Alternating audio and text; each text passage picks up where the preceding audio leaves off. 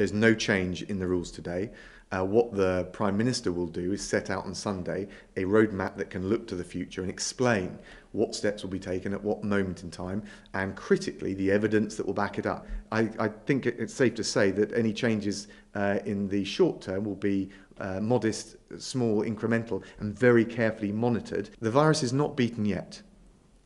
It remains deadly and infectious and we're working very hard right across government and with local government to bring it down in areas of concern, like in care homes. And I'm confident we can do it and we will do it.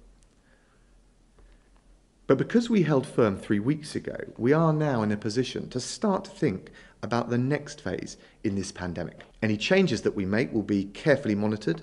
If people don't follow the rules or if we see that the R level goes back up, We will tighten the restrictions again. We will always retain the option to do so. If I may give a personal view, uh, then uh, I do believe that social distancing and maintaining it over the next few weeks is going to be central to continuing to um, reducing the um, epidemic. Uh, we have definitely got a challenge in care homes.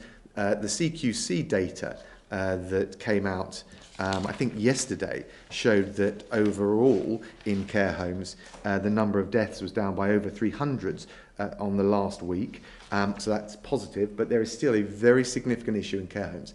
Uh, Jenny and I were in a Cross Whitehall meeting yesterday looking at exactly how we ramp up every bit of what we need to do around the social distancing in care homes, the ebb and flow of people into care homes, the PPE, the testing, to make sure we bear down on this problem.